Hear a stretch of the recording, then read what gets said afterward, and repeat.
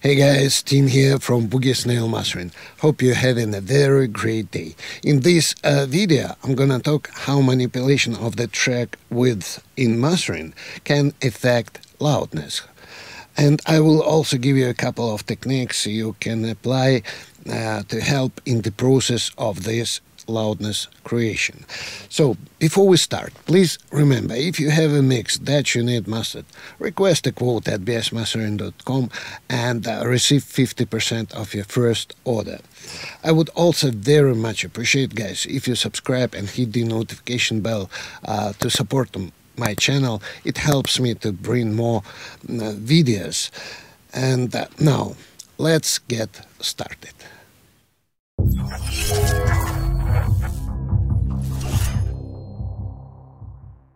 Remember, most of the power of a mix comes from its center, while outsides provide color and texture for the track to sit in.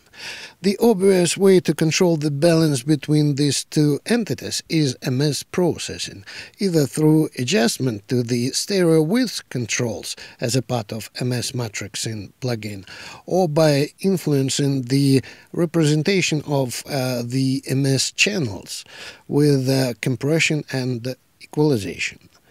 The main groove elements and lead vocal typically live in the mid channel, while pads, ambience effects, and uh, supporting instruments live in the sides. Mid-side uh, compression, therefore, gives us a chance to control the dynamics of the groove or vocal without affecting the clarity and dynamics of the uh, stereo elements.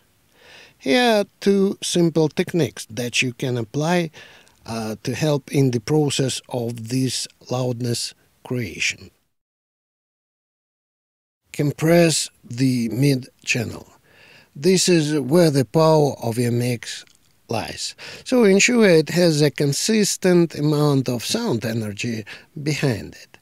As a byproduct, you will probably enhance uh, principal instruments, giving the track more of a direct sound with less detail and uh, embellishment. The effect might be subtle, but it is clear refocusing of the direction of the music towards power. As you can see on the screen, the compressor is in uh, MS mode with unlinked channels. I compress only the mid channel. I find that slow attack time between uh, 80 and 100 milliseconds a good starting point. It allows uh, transients of the kick and bass uh, to really have power. And then I set a fast uh, release time, which is bouncy but not too gluey, around 100 milliseconds. Ratio is 1 uh, fine 5.21. Sidechain filter is about 150 Hz. Gain reduction is uh, not more than uh, 2 dBs. I start uh, concentrating the energy in the center of the mix. All mid-range and highs start inducing the compression. And with the mid-channel gain control, I start uh, driving the power of this mid channel. Then I use gain control of the side signal to adjust stereo width of this track. So please note that I'm not uh, doing any compression on the sides. So finally I achieve compressed energy in the center and the light airy uncompressed sides. This is a technique that is very often used. It is my secret uh, weapon, so to say. Just experiment with it and you will never stop using it. So, and now let's have a listen and AB this track uh, with this mid uh, channel compression off and on.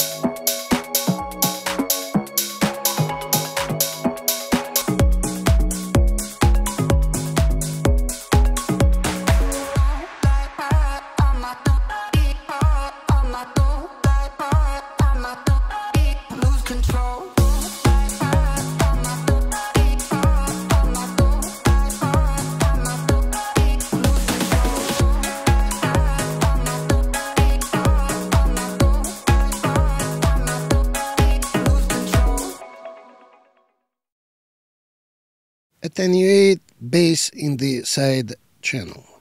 Bass in the side channel is somewhat wasted entity given that our ears can't discern stereo information beneath 100 Hz very well.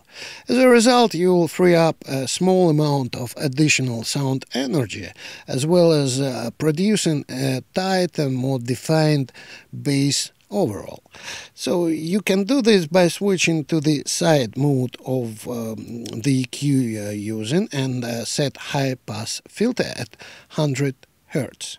Only do this when uh, there are no elements of the sides of the mix that specifically need frequencies below 100 Hz, such as panning of the bass or kick drums that are placed on the sides. And this will create a bigger distinction between the centered lower frequencies and the higher frequencies on the sides. This accentuated um, difference between mid and side will make your sound uh, sound wider. So, and now let's have a listen and A-B this uh, track again.